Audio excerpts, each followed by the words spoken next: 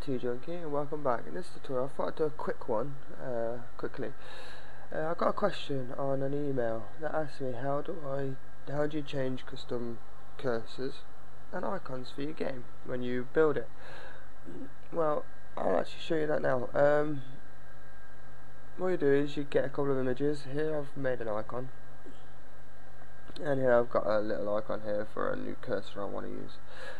Now what I want to do, first and foremost, is the file shader icon, change it to an editor, I set it to point and true color. So all your transparency shows through and it's all clear and crisp. I always do no filter and everything because this is quite a low res image. And with the cursor you want, set it to cursor and I have true color, why not? Apply.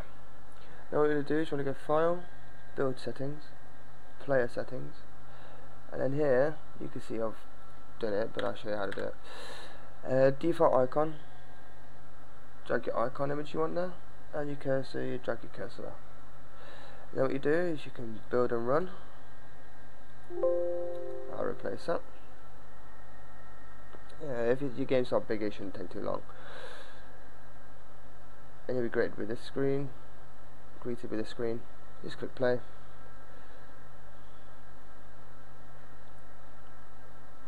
And as you can see you've got your new cursor.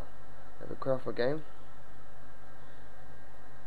And then go go into the directory that my game's located